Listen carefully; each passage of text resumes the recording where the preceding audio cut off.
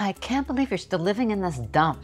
Hoping to get a nicer place, but right now things are tight because. Because your good for nothing husband refuses to get a job. Mother, please. Hey, babe. You're here.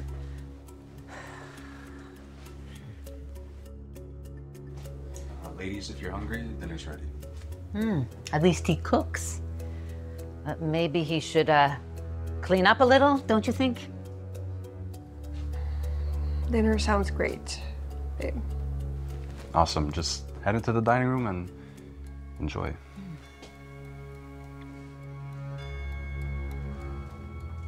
You've ordered takeout? Yeah. And Cassandra, you'll love it. It's from a local Italian place. And I even got gluten free pasta because I know about your gluten intolerance. This is ridiculous. I've kept quiet long enough. What is it, Cassandra? You sit around all day sponging off of my daughter's income, and you're too lazy to clean up a little. And worse than that, you can't even cook a simple dinner. You order takeout on Eve's dime. That's not true. Okay, I'm here all day working hard on my company. Correct me if I'm wrong, but a business should be making money. From what I've seen, it's been stuck in neutral for over a year. Mother, I think we should give him a chance to. Eve, I told you when you first started dating him that he was a loser. You're such a smart and capable girl. Don't let a weak man drag you down. You'll be supporting him the rest of your life. Cassandra, I understand your frustration, but my business is truly on the verge of a breakthrough. Yeah, that's why Eve and I invited you here tonight. That's why I splurged on this meal. Suddenly, I'm not hungry. Eve, I have a wonderful attorney. You can be out of this marriage in a week. You can have your life back. Hmm? Cassandra, how can you say that? Honestly, Eve and I love each other. Mother, please, just have some dinner. I'll have the attorney call you. Just think it over. This is about your future happiness. You don't need him. Cassandra, you are way out of line. And what are you going to do about it, Steve? You're not a real man. You don't even have what it takes to make me a grandmother.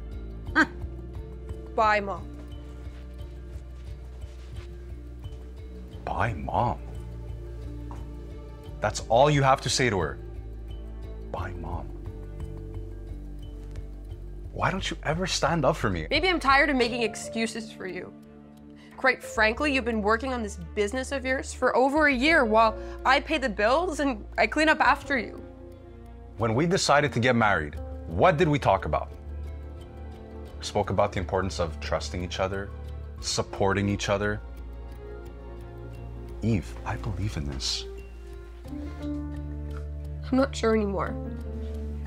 Look, just hang in there, okay? I need you.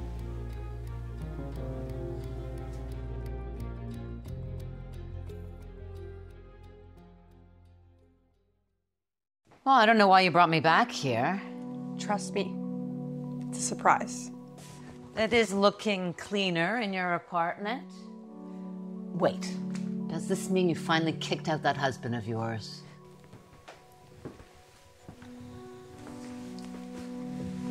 It's nice to see you too, Cassandra. Oh, hell. Mother, Steve and I have wonderful news. Let me guess. You hired a maid on your dime. We did hire a maid, actually, but Steve paid for it. What? Look, Steve, I don't like this very much. Even losers get lucky sometimes. Maybe you won a few dollars at the dog races, and now you're trying to show off a little. But you don't fool me. That's enough, Mother. I won't have you speak to my husband that way. You're being extremely rude and disrespectful. If you won't listen to what Steve has to say, I'd rather you leave. Please, Eve. I can speak for myself. How can you talk to your mother like that? This loser has turned you against me. No, it's you who's tried to poison me towards him all this time. You only see what's on the surface. Cassandra? I know all you've seen is a lazy guy lounging around the house, wasting time while his wife's working. I get that. But for the past year, I've been working 14 hours a day, seven days a week on my app that, frankly, going to revolutionize the insurance hmm. industry. Another unsuccessful pipe dream. Steve has been working on this software idea for a long time, and as a married couple, we both decided it would be best for both of us if Steve really devoted everything to make this possible. So you wanted him to quit his job and just hang around the house all day? That's what partnership is. That's what a marriage is, Cassandra. Well, it seems pretty one sided to me. Well, Eve and I invited you here tonight to tell you that our partnership has paid off. We just signed a major contract with North America's largest insurance company. What does that mean? Um, it means that we're rich. You mean Steve actually. I I didn't. We did. You see, without a loving partner standing by my side, supporting me through all of this, I would have never been able to make it through. All those nights and days cooped up in the apartment coding. Yes, the apartment was a mess, and sometimes we had to order food.